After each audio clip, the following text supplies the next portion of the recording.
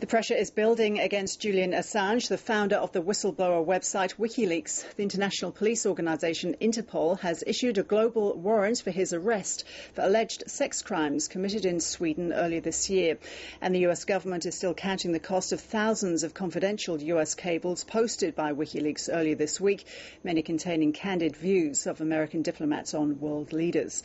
Richard Broinowski is an adjunct professor at Sydney University and a former Australian diplomat. He joins me now in studio. Good to see you. Thanks for coming Thanks, in. Rose. So, Richard Broinowski, Julian Assange is now a wanted man. Is this the start of the authorities' bid to silence him?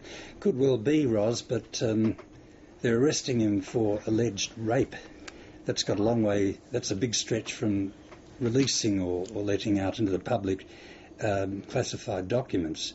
And in that case, if, if they want to get him for that, I can't see on what grounds. Is there terrorist laws that, that allow uh, the arrest of someone who's been given or has uh, achieved material but hasn't signed any sort of confidentiality agreement. I, I, think it's shooting the messenger, quite frankly, if it's going to lead to that. So, how should Julian Assange and indeed WikiLeaks be handled?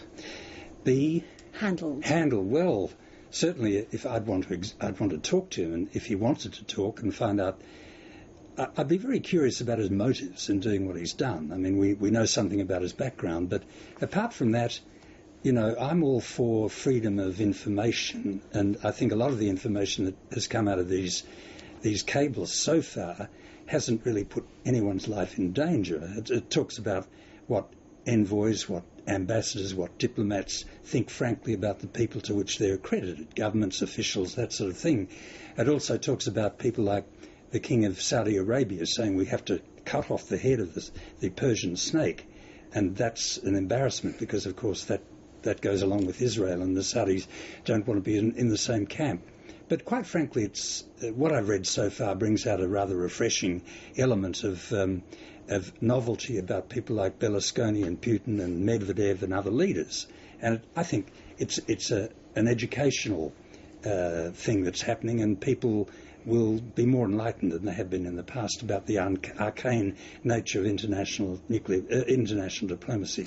Will this, though, necessarily change the way countries uh, communicate internally and with yeah. each other? Will we have to go back a few steps? I think it will. I was putting myself back in harness as an ambassador somewhere and thinking, what could I really say about um, the prime minister of the country to which I'm accredited, knowing that he's not very good. You know, is it going to be picked up by the people to which I'm accredited? And I guess, in a sense, this is the end of the electronic era. We can't any longer expect that this is going to be confidential. We might have to go back to the horse and buggy age of the one-time pad and to the courier, the, the diplomatic courier taking the bag with a padlock from post to post with, with hard copy of, of uh, cables back to Canberra. Richard Broinowski, good to see you. Thank you. Thank you, Ross.